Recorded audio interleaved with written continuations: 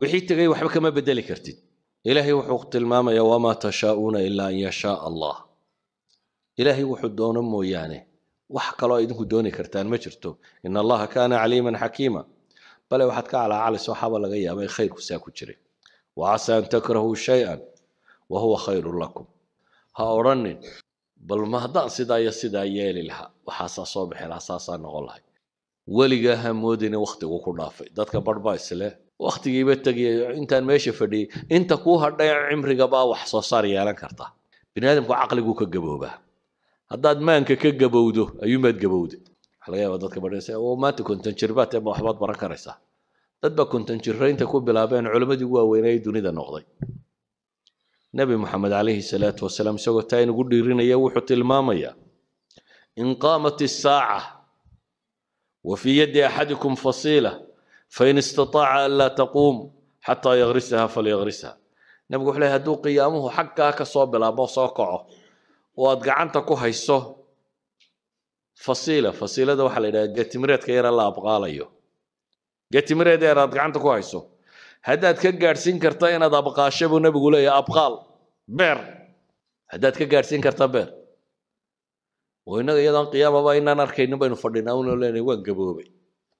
soomaalidu dee afartan jirkay ku gabowdaa soo maha soomaaligii. Markuu bini aadamkuba u xoog badnaa markuu gaadho ayuu yidhaahdaa waan gaboobo wax waliba way ga dhammaadeen ilaahina wuxuu ina leeyahy walaa tahinuu walaa taxzanuu waantum laclowna in kuntum mu'miniin.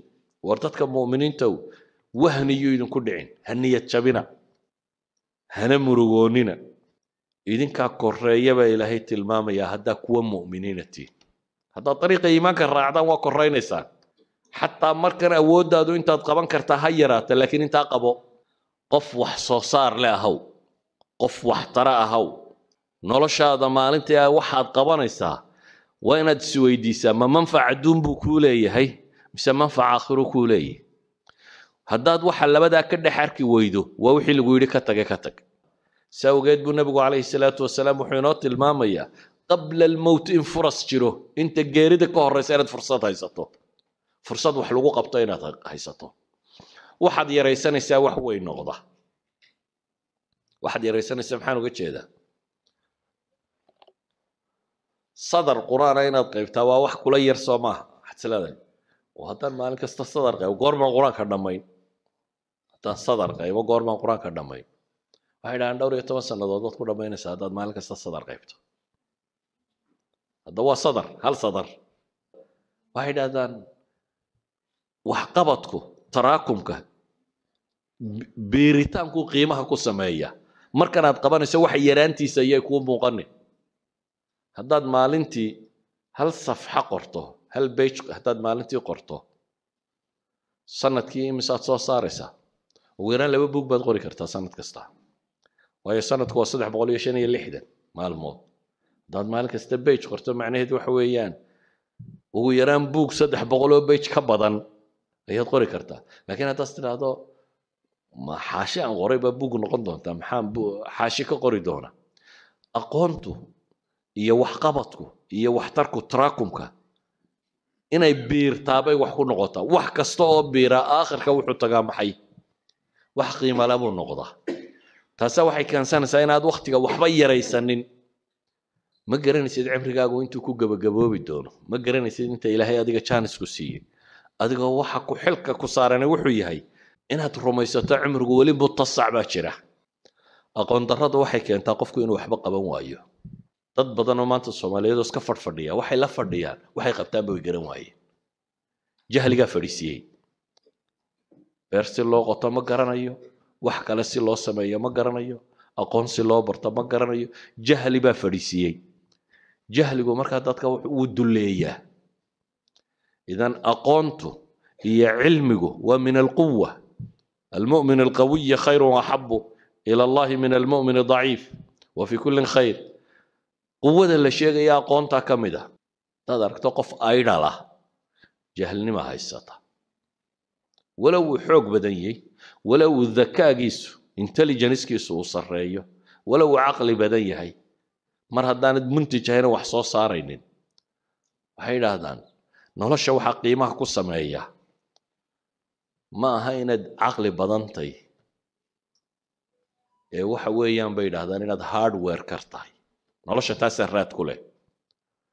Qof xoog wax u qabta inaad tahay. Garadka badane hadduu hurdo dhalo waxba tari maayo. Si kastoo aad daki u tahay haddaad qof laysiyatay qof aan firfircoonayn haddaad tahay garaad bandidna waxba kuu kordhin mayso oo dadka badh baa wahsiga iyo hurdada mooda inay nimco tahay. Waa raaxaysanaya buu leey deetana wuu jiifaya saa baktiga waxba nolosha hurda kuma soo kordhiso. Qofku waa inuu hurdada seexdaa intuu uga baahnaa uun intuu caafimaadkiisa ku ilaalinayay intuu nashaadada jidhkiisa uu dib ugu soo noqonaysay waxay yidhahdeen daraasaadka cilmiga ee dambe xataa caafimaadka qoladan maanta ka shaqaysa waxay tilmaamayeen daraasay tilmaameen cilmiga hong kong ay ku sameeyeen oo ay dadka hong konga baadheen. Markaase waxay idhaahdeen waxqabad la'aanta iyo sigaarka bulshada keebaa dadka leyntiisa ku badan bay dhahay sigaarka waxaa la wada yaqaana inuu sun yahay boysiyo dadka lahayo cagsiga iyo iska fadhiga ka batay iyagu daraasaday sameeyeen. Maanta waa kuwan yidhaahdaa xanuunada ugu tirada badan lee bini aadamka ku dhaca waxa keena bay yidhahdaan maxay exercise la'aan exerciseka la sheegaya inaad boodbooddo quran maa waa inaad wax qabato uun laakiin haddaad iska yuururto una fadhidid qof fadhiya habeen iyo maalinba caafimaadkiisaaba khatar ku jira ka kaalay nolosha inaad waxtar ku yeelato iyo wax soo saar inaad yeelato ee waxa khatarta gelaya waxa weeyaan maxay adiga caafimaadkaagii baa khatar gelaya walidaalika qofku inuu nashaad iskeliyo ma macaan baad qabtaa ma sokor baad qabtaa ma kan baad qabtaa maalintii intaa soco intaa qabo inta yani waa wax qabo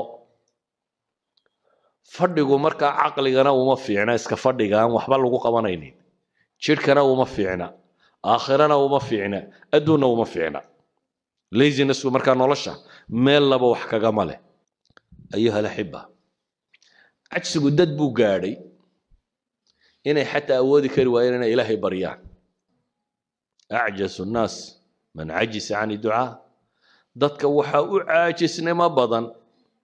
Dee ninka awoodi kari waaye ilaahay inuu baryo. Dadka badh ayaa wax kastoo ay qabtaan taswiif ku sameeya insha allah berraan samayn doonaa. War maanta aad qaban karaysaa maxaa berri camal kale u dhigo? Maya berraan samayn doonaa? Wax kasta berru u dhigaya. Ama maahe brogramyo iyo barnaamij buu degayaa markaasuu leeya insha allahu saasaan yeelaya sanadka dambe qur'aankaan xifdinaya. Sanadka dambe waxaan rabaa jaamacadda ee balas balas inaan kaga baxo. Insha allah waxaan rabaa waktiga soo socda tijaaradaasi inaan galo. Waxaan rabaa kutubtaa inaan dhigto. Waxaan rabaa cibaadadaa inaan sameeyo. Laakiin afku ka leeyahay. Waa barnaamij afka ah. Camal ma gaadhayo. Isuma bedelayo maxay? Wax camala isuma bedelayo in wax la bilaangareeyaa ma xuma laakiin waxaad bilaangaraynaysaa waa inuu yahay waxaad awooddo qaban karaysa marka koowaad. Shay fii maqduurik waa inuu yahay. Waa inaad qof riyoonaya noqon. Dadka barh baa day dreaming adoo soo jeeda inaad riyooto maaha. Waxaanad samayn karayn haddaad iskaga wadwado waa riyo kale uun. Dadkii hurdaa riyooda. Dadka soo jeedana qaar baa riyooda. Oo mar haddaanad waxaanad qaban karayn aad ka fekerayso waad riyoonaysaa waxaad balaangaraysay waxaad qaban karta waa inuu noqdaa. Marka labaadna waa inaad fulisaa. Fulintu dadka badh baa fulanima haysaa armaa dadku kula yaabaa. Armaa si xun lagu eegaa. Arma arma arma arma. Shaki unbaaba iskaga soo ururaya dadka badh oo wixii uu qaban lahaa u diidaya armaa lagu idhaahdaa waxaan wuu istusaya waxaan kan buu samaynaya laakiin nebigu wuxuu ina leeyahay ixris calaa maa yanfacak wastacin billaah walaa tacjis marnaba ha caajisin. Markii ilaahay uu nebi yaxye la hadlayay waxaa la yidhi yaa yaxya khudi lkitaaba biquwa war nebi yaxyow kitaabka si xooggan u qaada baa la yidhi. Si jiddiya si ijtihaadu ku jiro si dadaal iyo firfircooniyo ku jirto ilaahay kitaabkiisa u qaada baa yidhi أيها الأحبة. مركا دوها ما شويس فول فوشا. وحي ما أنت إن تقبط مركا تقبون ويدو. ويسا سيكورتا. المؤمن القوي خير وأحب إلى الله من المؤمن الضعيف. وفي كل خير احرص على ما ينفعك. واستعن بالله ولا تعجز. وإن أصابك شيء فلا تقل لو أني فعلت كان كذا وكذا. ولكن قل قدر الله وما شاء فعل فإن لو تفتح عمل الشيطان نبي عليه الصلاة والسلام حديث كما حكوت المامية قيب حكو سفين يا قفك مؤمن كا حقا يسدوغ خير بدن يهي كي ضعفك كتشره qaybaha dambena wuxuu ku tilmaamayaa nebigu calayhi salaatu wasalaam wasiya uu siinayo dadka muslimiinta ah wuxuu nebigu yidhi almu'minu alqawiy mu'minka xoogga ahi kaasaa khayrun wa axabu ila allah. Ka khayr badan oo allagtiisa lagaga jecel yahay min almu'mini daciif. Mu'minka caqiidadiisa ama iimaankiisa ama cibaadadiisa ama acmaashiisa aakhira ay liidato. Quwada tan la sheegayaa waa macno ballaadhantay. Waxay duuduub ahaan tilmaamaysaa quwadu xataa quwa albadaniya. Qisadii matala nebi muuse ilaahay markuu ka warramayey ee reer u yimi magaalada meesha dadku xoolaa waraabsanayaane habluu laba hablood ay xoolahoodii cidlo ula baxeen. Maxaa idinka idinku dhacay buu yidhaha xoolaa waraabsan weydeen. Waxay yidhahdeen annaga aabahayana waa gaboobay. Yacni waa daciif maa yaqdir shay. Een annaguna ma gallo raggu meeshan ay isku jiidhayaan ilaa iyo ay ka baxaan dabeetana wuu u waraabiyey. Hadhow inantaasi markay aabbaheed la hadlaysay. Ee rabtay ninkan in reerka aanu ka tegina si uun loogu hayo. Ayaa waxay tidhi yaa abat ista'jirhu ina khayra man ista'jarta alqawiyu lamiin aabbow ninkan shaqaalaysiisa bay tidhi. Oo ajiir ka dhig ina khayra man istaajarta alqawiyu lamiin bay tidhi. Qof shaqo loo dirto waxa u fiican qof xoog leh oo qawiyo wixii qaban karaya ammaanana leh. Idan nabigu calayhi salaatu wasalaam wuxuu inoo tilmaamayaa mu'minka xooggan oo ay ugu horreyso ilaahay rumayntiisa iyo daacadiisa iyo cibaadadiisa iyo acmaasha aakhire ku xooggan dad baa jira sida kale u xoog badan. Laakiin marka ay timaado cibaadaadka iyo diinta iyo caqiidada ducafa ah kani kow waa qof baabkaasi ku xoog leh. Ka labaad waa qof bay yidhaahdaan muntij ah qof wax soo saar ah wax soo saar leh. Kaasi wuu ka khayr badan yahay mu'minka daciifka ah. Haddana wuxuu nabigu yidhi calayhi salaatu wasalaam wa fii kullin khayr. Mu'min oo dhanna khayr baa ku jira. Hadduu qofku iimaan iyo camal la yimi ha laba kala martabo sarreeye khayr baa ku jira.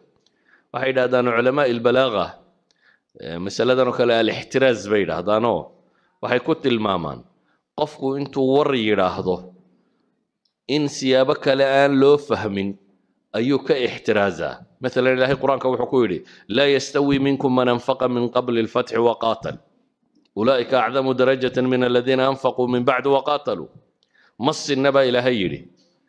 Kuwii fatxuma ka horteed xoolaha bixiyee dagaalamay ee diinta u soo halgamay kuwaasaa darajo sarreeya. Oo fatxu maka wixii ka dambeeyey wixii markaa islaamay ee wax qabtay miyaan waxooda tirsiis lahayn. Haddaad sidaa u fahmi lahayd way qaldami lahayd. Laakiin ilaahay baa ka sii jawaabo wuxuu ihi wa kullan wacada allahu lxusna dhammaantood ilaahay baa u yaboohay wanaag labaduba wanaag bay leeyihiin calaa kullin waxaynuu soconnaa wa fii kullin khayrtu inay tilmaamayso mu'minka iimaan saxiixa laga hela ee daacadiisa la yimi kolleyba inuu khayr ku sugan yahay. Laakiin markay timaado mu'minka in classification lagu sameeyo in la kala sooco inuu ka qawigii ka khayr badan yahay ka daciifka ah buu nebigu tilmaamaya calayhi salaatu wasalaam. Qaacidadaa markuu nebigu sheegay ayuu wuxuu inoo tilmaamayaa dardaaranana siinaya dardaarankani waxa uu sheegayaa wixii qofka mu'minkaa qawiga ka dhigi lahaa. Maxaa qofka mu'minkaa xoog u yeelaya wuxuu nebigu yidhi kow ixris calaa maa yanfacuk. Waxaad ku dadaashaa oo ilaalisaa waxa ku anfacaya. Nolosha aynu joogno bini aadamku wakti isku miduu haystaa wakti isku mida. Inta badan dadku lixdan jir konton jir toddobaatan jir meelaha waa soo wada gaadha. Laakiin midhaha iyo raadkay dunida kaga kala kaga tagaan iyagoo isku wakti noola waa kala nooc. Sababtay u kala noocyiinna waa masalada tan. Camalka bini aadamku qabtaa waa saddex qaybood midu inuu yahay qayb ku anfacaysa qayb wax tarta. Aakhiriya adduun manfacuun leh. Iyo inuu yahay qayb wax dhibta. Aakhiriya adduuma dhibaato kuugu jirto. Iyo inuu yahay qayb aan manfac iyo madaro toona lahayn laba inaad ka tagtaa markaa la rabaa midna qaadatid wuxuu nebigu leeyahy ixras calaa maa yanfacuk waxaad ku dadaashaa waxa ku anfacaya. Waktigaaga iyo maalintaada iyo xooggaaga iyo cilmigaaga iyo aqoontaada iyo hantidaada iyo garaadkaaga iyo waxaad awood leedahay oo dhan waxaad ku isticmaashaa waxa ku anfaca. Taa macnaheedu waxa weeyaan waxaad ka tagtaa wixii ku dhibaya ka tag. Waxaad kaloo ka tagtaa waxaan macnaha samaynaynin dadka in badanoo ka midi waxaabay dhib ku ah waktigoodaba marka waxay raadinayaan waxay ku dilaan waxay ku madadaashaan. Madadaaladu waa wuxuu rabo qofku inuu waktigiisa ku baabi'iyo xooggiisa iyo xoolihiisa iyo caqligiisa ku baabi'iyo. Aan adduunkana manfac ku lahayn aakhirana manfac ku lahayn. Adduunna wax kama tarayso waxaan u wadaa. Aakhirana wax kama tarayso qofna isagu wixii dhibayey baabuu waktigiisii ku bixiyey. Wax xaaraan oo aan diin ahaan ku bannaanayn oo caqiid ahaan bannaanayn oo ayuu ku bixiyey. Nabigu calayhi salaatu wasalaam markaa wuxuu ina ixris calaa maa yanfacak calaa maa yanfacuk. Ku dadaal waxa ku anfacaya. Bitacbiiri ahli lcasri waa waxay yidhahdaan kun muntijan aw kun iijaabiyan qof wax soo saar le ahaw qof wax tara ahaw qof wanaagga qabta noqo. Noloshaada maalintii waxaad qabanaysaa waa inaad isweydiisaa ma manfac adduun buu kuu leeyahay mise manfac aakhiru kuu leeyahay? Haddaad waxa labadaa ka dhex arki weydo waa wixii lagu yidhi ka tage ka tag. Haddaad manfac adduun ka weydo ama manfac aakhire ka weydo waxtar ma leh. Sheekada ugu badan ee soomaalidu ka sheekaysaa waxtar ma leh siyaasadda iyo qabiilka iyo reeraha iyo waxa laga sheekeeyo o dhamme waxtar ma leh. Kubadaha iyo cayaaraha iyo wax la daawado o dhamme waxtar ma leh. Wararkan habeen iyo maalinba la dhegaysanaya la wado intooda badani waxtar ma leh. Wax badan aan waxtar lahayn baa dadku wakhtigiisii ku qaada. Nebiguna wuxuu tilmaamayaa min xusni islaami almar'i tarkuhu maa laa yacniih qofka muslimkaa islaamnimadiisa wanaaggeeda waxaa ka mid a isagoo ka taga waxaan macno u samaynaynin. Tarkuhu maa laa yacniih waxaan isaga khusaynin. Waxaan ku khusaynin waxna ku taraynin. Maanto dha haddaad ka waranto laba gaaloo meel isku dilay kii la dilay. Adiga waxba ku tari mahaya warkooda iyo akhbaartooda waxba ku tari mayso. Akhbaarta siyaasiga dad ka sheekeeya inteeda ugu badan le waxba ku tari mayso. Waxyaabahan ka sokeeya iyaguna cayaarahan iyo madadaadadan iyo whatsappkan iyo snapchatkan iyo waxa la wadoo dhami. Aktharuhum waxbaabay dhibaan aakhiriya adduunba inta aan aakhiriya adduun manfaca ku lahaynina aan wax dhibinina waa inaan adduun iyo aakhiratoona manfac ku lahayn. Marka wixii aan manfac ku jirin mid adduuniya mid aakhiro. Waa inaad ku xisaabtantaa inaad waktigaaga iyo xoolahaaga iyo xooggaaga iyo caqligaaga inaad gelinin. Sidaa awgeed buu nebigu wuxuu ina leeyahy ixris calaa maa yanfacuk. Wixii ku anfacaya ku dadaal. Intaa kadib buu nebigu wuxuu leeyahy calayhi salaatu wasalaam wastacin billaah ilaahayna kaalmayso. Ilaahay kaalmayso macnaheedu waa qofka mu'minka ahi wax kasta oo uu qabanayo ama uu ka fakerayo wuxuu rumaysan yahay inuu ilaahay gacantiisa ku jiro. Qofka mu'minka ee dhabta ahi guruur kuma dhaco iyo cujb isla weyni iyo anaa caqli badan iyo anaa karti badan iyo kaama rumaysana. Qofka muslimkii wuxuu rumaysan yahay ilaahay inuu mar kasta u baahan yahay. Mar kastaba inuu ilaahay u baahan yahay. Saa daraaddeed baa ilaahay qur'aanka wuxuu baray mar kastoo aynu ilaahay is hortaagna inaynu akhrino iyaaka nacbudu wa iyaaka nastaciin. Ilaahu adaanu ku caabudaynaa keliga keligaa baanu kaa kaalmo dalbaynaa qofka muslimka ahi mar kasta baahidiisa waa qof ilaahay u bandhiga. Waa qof muujiya inuu yahay addoon daciif ah. Waa qof rumaysan laa xawla walaa quwata ila billaah. Wuxuu rumaysan yahay waa kanzun. Ayuu nebigu ku tilmaamaya calayhi salaatu wasalaam cabdillaahi ibnu qays buu nebigu yidhi ma ku tusiyaa kanz min kunuuzi ljanna khasnad khasnadaad jannada ka mida makuu sheegaa faqultu balaa yaa rasuula allah haa buu yidhi ilaahay rasuulkiisiiyow xadiidka saxiixayn ku yaal nebigu wuxuu ku yidhi markaa laa xawla walaa quwata ila billah weeyaan laa xawl awo xeelad malihi iyo awoodtoona ilaa billaahi mooyaane.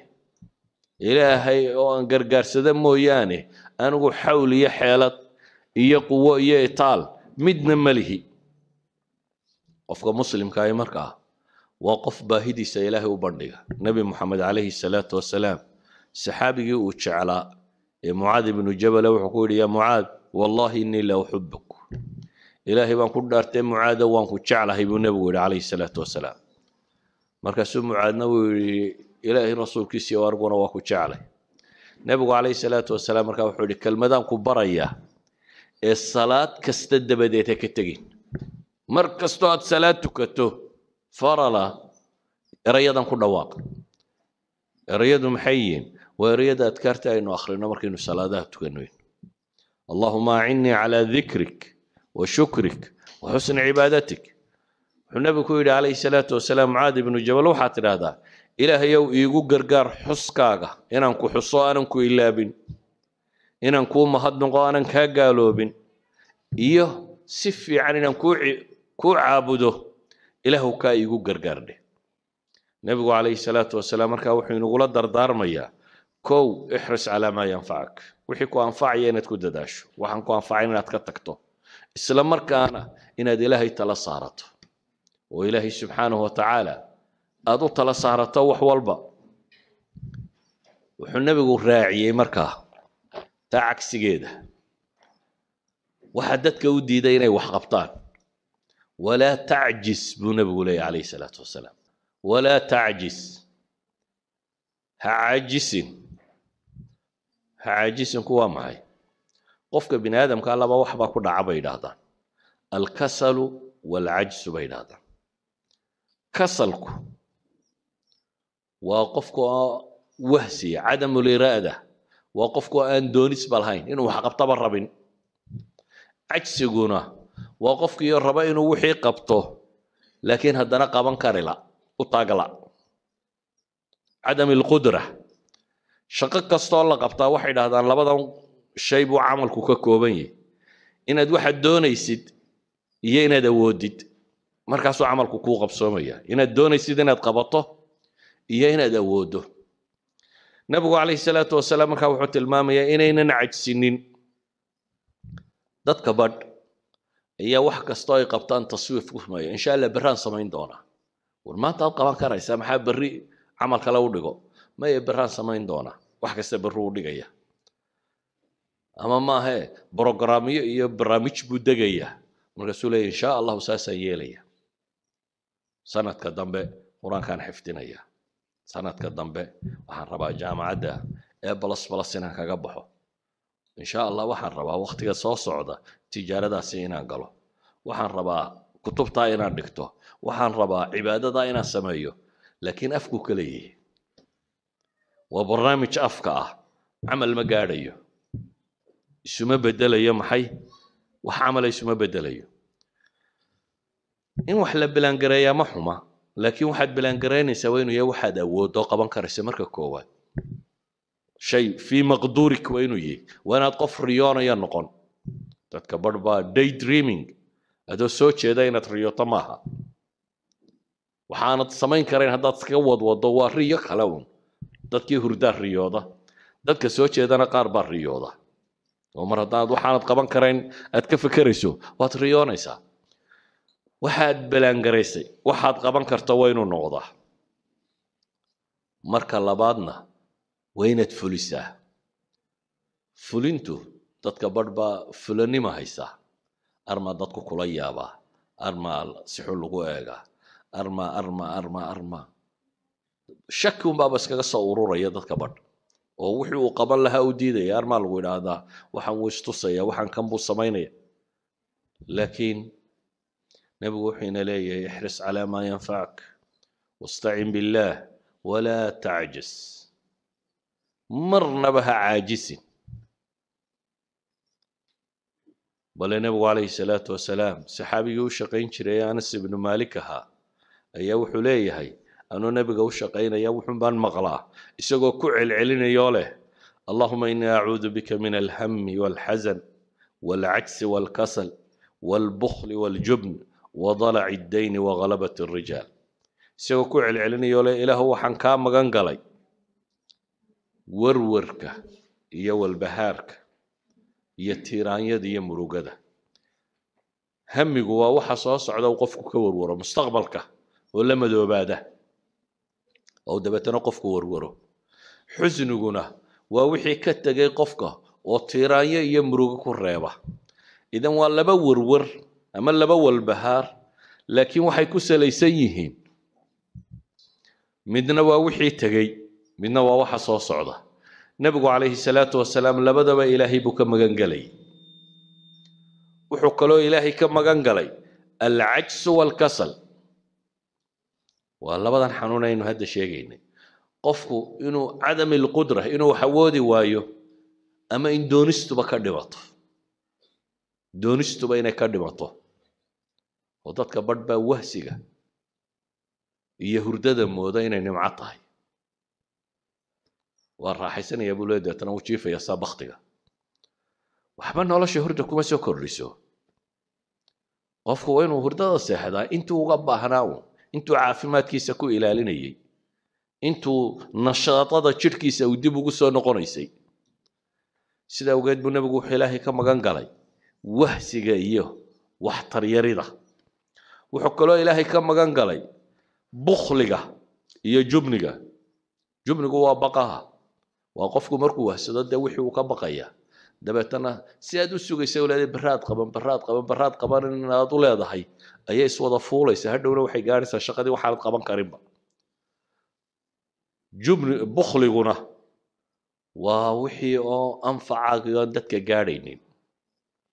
Anfacaagii oo aan dadka gaadhaynin wadalaci dayni wagalabat rijaal waxa uu nabigu sheegayna waxa ka ratibma daynta oo kaa xoog badata iyo bini aadamka oo kaa xoog bata xadiidkani waxa uu tilmaamayaa markaynu soo duuduubno qofka muslimka inuu qof active ah qof nashiita qof firfircoon qof raba inuu wax qabto qof camal adduunyo mid aakhire midun ku foogan qof aan noloshiisu khasaare noqonin ama wakhtigiisu khasaare ahayn ayuu nebigu calayhi salaatu wasalaam tilmaamaya walidalik buu nebigu wuxuu tilmaamayaa wakhtiyada qaarkood ayacjizu axadukum buu nebigu yidhi waar midkiin miyuu kari kari waayayaa an yaksiba kula yowmin alfa xasana maalin kasta inaad kun xasano shaqaysato miyaad awoodi kari waayeysa nin raggii meesha fadhiyey baa wuxuu yidhi kayfa yaksib axaduna alfa xasana oo midkaa yasuu kun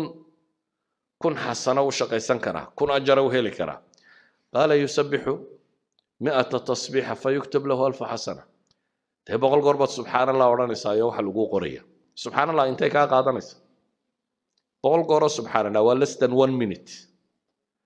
ka waran hal daqiiqo oo noloshaada ka mid a haddaad kun xasano shaqaysan karto saacaddii misaad shaqaysan karaysa waxaa meesha taalla markaa nebigu wuxuu leeyahy qofkaasi subxaan allahi yidhaahda. Ee tasbiixda la yimaada kun xasanana waa loo qoraa aw yuxadu canhu alfu khati'a ama kun dambaa laga dhigaa. Cajsigu dad buu gaadhay. Inay xataa awoodi kari waayeen inay ilaahay baryaan. Ilaahay baryadiisa xataa inay ka gaabsadaan. Si awgeed buu nebigu wuxuu leeyahy acjasu nnaasi man cajasa can idducaa acjasu nnaas man cajisa can idducaa dadka waxaa u caajisnimo badan. Dee ninka awoodi kari waaye ilaahay inuu baryo. Wa abkhalu nnaasi man bakhila bisalaam. Dadka waxa kaloo u bakhaylsan buu nebigu leeyahy calayhi salaatu wasalaam. Qofka dadka kala bakhayla. Inuu ku yidhahdo assalaamu calaykum asalaamu calaykum waa duco. Inaad dadka u ducaysad kala bakhaylaysa. Ayuha alaxiba waxay leenahay cajsigu marar badan buu noqdaa jahliga marar badan buu sababta cajsiga keenta ay tahay aqoon darrada waayo subxaan allahi haddaanad ajarkeeda garanayni waa aqoon darra ku haysataa aqoon darradu waxay keentaa qofku inuu waxba qaban waayo haddaad aragto qof aidhal ah jahlnima haysata walow uu xoog badan yahay walow uu dakaagiisu uu sarreeyo walow uu caqli badan yahay. Mar haddaanad muntij ahayna wax soo saaraynin.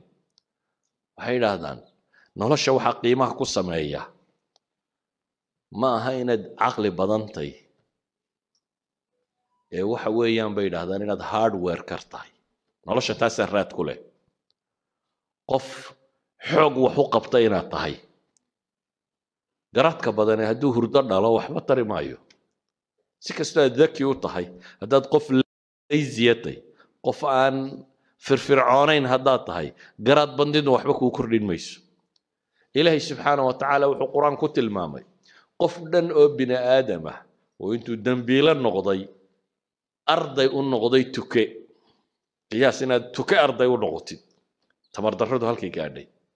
Saa daraaddeed baa ilaahay wuxuu leeyahy fabacatha allahu ghuraaban yabxathu fi lardi liyuriyahu kayfa yuwaari saw'ata akhiih qaala yaa waylataa acajastu an akuna mithla hada alguraab fawaariya saw'ata akhii faasbaxa min annaadimiin in aadamkii walaalkii dilay markuu dembiga geystay walow uu xoog weynaayo xooggaa walaalkii ku dilay uu qabay kadib aqoon darrada haysatee waxay noqotay si uu u galo meydkii walaalkii buu garan waayey ilaahay baa wuxuu u soo diray tuke tuka markaa aqoonta ah in wax la xabaalo baray tuka tuka kaloo dhintay. Godu qoday oo aasay. Wuxuu baray markaa in wax la xabaalo. Wuu halaan halay ama wuu calaacalayo wuxuu leeyahy yaa waylataa acajastu an akuuna mithla hada alquraab halaagaygiiyow kaalaye ma waxaan ka liitaa ma waxaan ka waxtar xumaaday inaan tukahaasoo kala noqdo. Idan jahligu tukuu macalinkaaga dhigi dad badan oo maanta soomaaliyeedoo iska fadhfadhiya waxay la fadhiyaan waxay qabtaanba way garan waayeen jahligaa fadhiisiiyey beer si loo qoto ma garanayo wax kale si loo sameeyo ma garanayo aqoon si loo barto ma garanayo jahli baa fadhiisiiyey jahligu markaa dadka wuu dulleeyaa. Idan aqoontu iyo cilmigu waa min alquwa almu'min alqawiyi khayru axabu ila allahi min almu'min daciif wa fi kullin khayr quwada la sheegaya aqoontaa ka mid ah. Si awgeed ayuu nebigu calayhi salaatu wasalaam inagala dardaarmayaa istacin billaahi walaa tacjiz ilaahay kaalmayso oo isticaanadaada ilaahay kaalmayso hana caajisin. Qur'aankana ilaahay wuxuu inoo tilmaamayaa.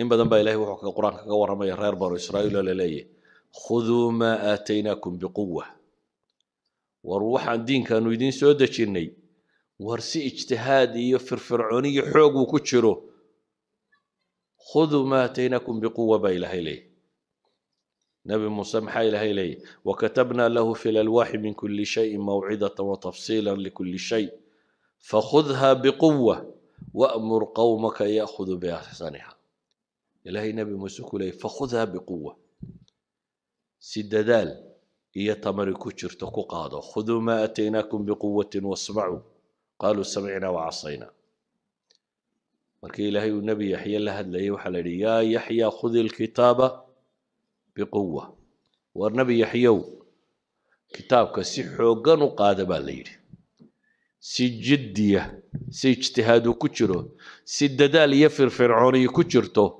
ilaahay kitaabkiisa u qaada baa la yidhi waxaa qur'aanka ilaahay uu ku sifaynayaa. Dadka wahsiga iyo cajsigu hayaa inay sifada munaafiqiinta tay wahsigu. Ilahi wuxuu leey ina almunaafiqiina yukhaadicuuna allaha wahuwa khaadicuhum waida qaamuu ila asalaati qaamuu kusaala. Munaafiqiinta ilahay wuxuu ku tilmaamay salaada hadday u kacaan waa kuwa kaca iyagoo kusaala ah iyagoo wahsi iyo caajis u hayo walaa yaatuuna asalaata ilaa wahum kusaala salaada lama yimaadaan baa ilaahay yidhi iyagoo xaaladda ku sugan mooyaane ayuha alaxiba markaad wahsato acmaashu way isfuulfuushaa wixii maanta kugu habboonaa inaad qabato markaad qaban weydo wayse sii kortaa sidaa awgeed baa ilaahay wuxuu ku tilmaamaya yaa ayuha aladiina aamanuu maa lakum ida qiila lakum infiruu fi sabiili illahi athaqaltum ila alard. Waar dadka mu'miniintahu maxaa idinku dhacay? Oo haddii laydin idhahda ilaahay tiisa u soo baxa jihaadka u soo kaca athaaqaltum ila alardi baa layidhi maxaa dhulka idinku cusleeyey? Ayaa ilaahay leeyahy subxaana watacaala maxaad dhulka isugu nabaysaane u kici kari weydeen araditum bilxayaati dunya min alaakhira. Ma adduunka aakhira ka jeclaateen baa ilaahay leeyahy famaa mataacu lxayaati dunya إلا تنفروا. يعذبكم عذابا اليما ويستبدل قوما غيركم ولا تضره شيئا. أيها الأحبة كو منافق انت جهادك كوه سدا إلهي وحكوت المام. ان الصفات كمنافق انت كم تيتاسي يا أيها الذين آمنوا خذوا حذركم فانفروا ثباتنا وانفروا جميعا. وإن منكم لمن ليبطئن فان صار waxaa idinka mida baa ilahay leeyay mid dadkaba cagsi gelinaya o fadhiisinaya fadhigu markaa caqligana uma fiicna iska fadhiga aan waxba lagu qabanaynin jidhkana uma fiicna aakhirana uma fiicna adduunna uma fiicna lazinessku markaa nolosha meel laba wax kagama leh ee waxa meesha taalla qofka mu'minkii inuu muntij noqdo qof wax soo saar leh inuu noqdo weligaa ha moodina wakhtigu ku dhaafay dadka barhbaa isleh fataka alqataarkay sheegi jireen yacni wakhtigiiba tegaya intaan meesha fadhiyey inta kuu hadhay cimrigabaa wax soo saar yeelan karta laga yaaba dadka badhaysa oo maanta konton jirbaad ee waxbaad baran karaysaa dad baa konton jiraynta ku bilaabeen culammadii ugu waaweynayay dunida noqday ma garanaysid cimrigaagu intuu ku gabagaboobi doono ma garanaysid inta ilaahay adiga jaanisku siiyey adigoo waxa ku xilka ku saarana wuxuu yahay inaad rumaysato cimrigu weli mutasac baa jira.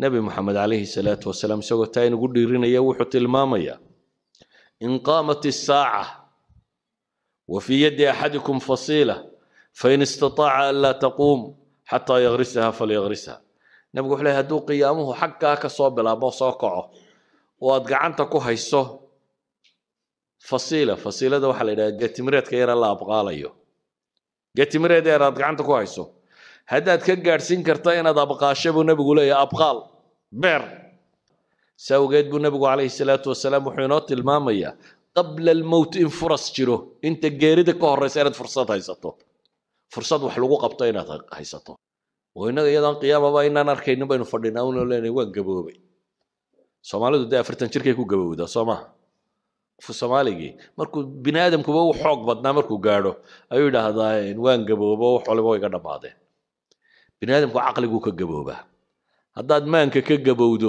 ayuunbaad gabowday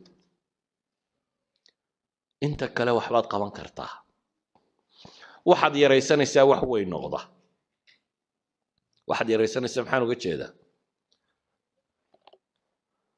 sadar qur-aana inaad qaybtaa waa wax kula yar soo maaha waxaad isleedahay oo haddaan maalin kasta sadar qaybo goormaan qur'aanka dhammayn haddaan sadar qaybo goormaan qur'aanka dhammayn waxay dhahaan dhowr iyo toban sannadood waad ku dhammaynaysaa haddaad maalin kasta sadar qaybto hadda waa sadar hal sadar. Hal sadar waxay dhahdaan waxqabadku taraakumka beeritaanku qiimaha ku sameeya. Markanaad qabanayso waxa yaraantiisa ayay kuu muuqanin haddaad maalintii هل صفحة قرطه؟ هل بيت هتاد مالتي قرطه؟ سنت كي مسات صو صارسة. ويران لو بوك بدغور كرتا سنت كستا.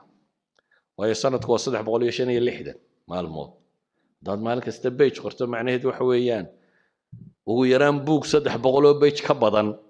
هي تقول كرتا. لكن هتاس تلاتو ما حاشا غريبة بوك نقدون تام حام بو حاشي كقري دونا. أقونتو. يا وحقبتكو iyo waxtarku taraakumka inay biirtaabay wax ku noqotaa. Wax kasta oo biiraa aakhirka wuxuu tagaa maxay? Wax qiimala buu noqdaa. Taasa waxay keensanaysaa inaad waktiga waxba yaraysanin.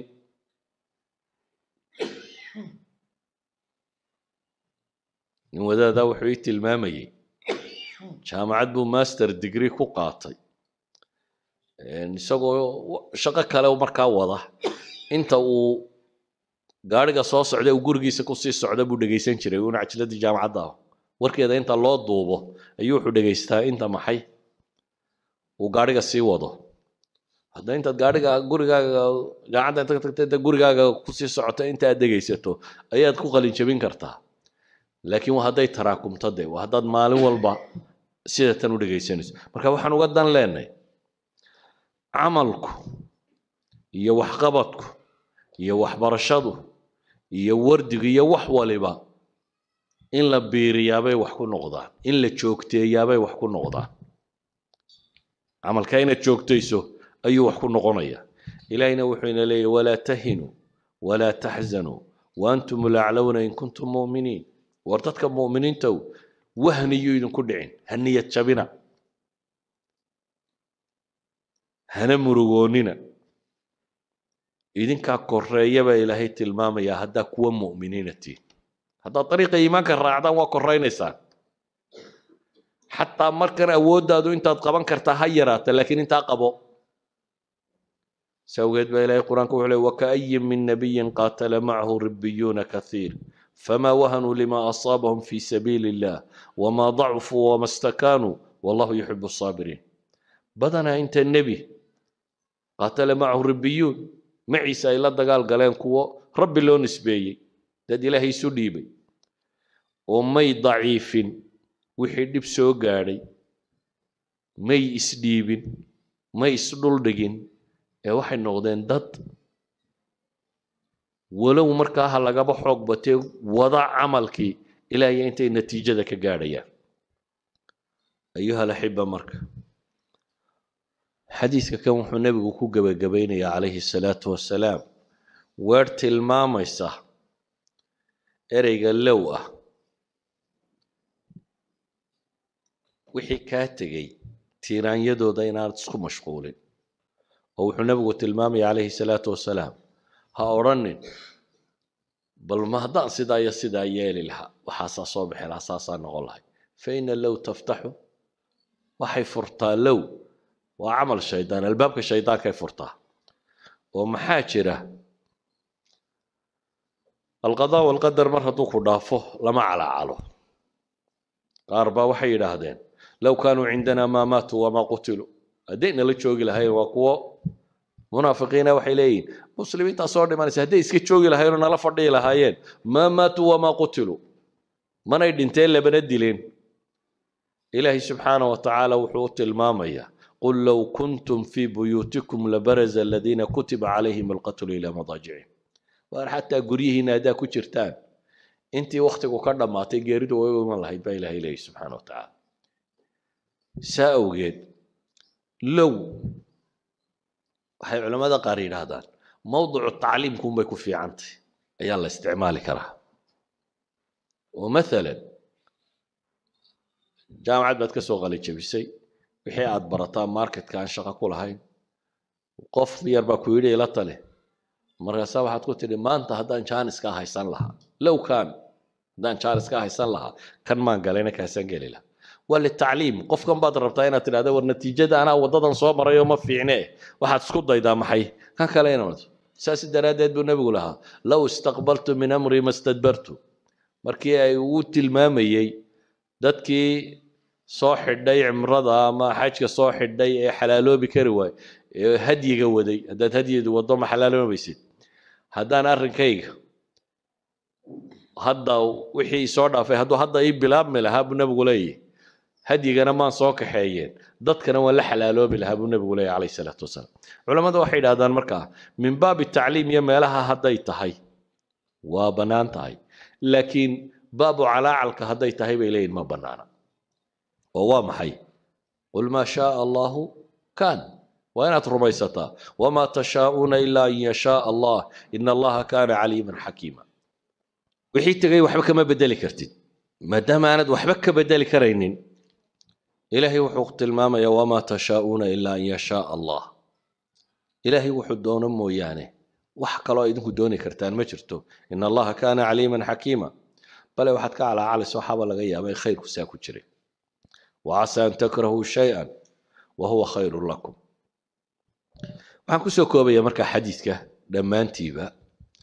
Nebigu calayhi salaatu wasalaam wuxuu inoo sheegay mu'minka waxtarka ah ee nafciga leh ee xooggiisa iyo caqligiisa iyo wixiisu qabanayo nashiidka ee ku firfircoon qawiga ah ayaa ka khayr badan mu'minka daciifka ah mu'minnimaduna dhammaanteed waa khayr marka horeba. Dardaarankaana wuyna siiyey. Wixii ina anfacayana inaynu samayno. Ilaahayna inaynu gargaarsanno. Cajsiga iyo kasliga iyo waxaana inaynu iska dayno.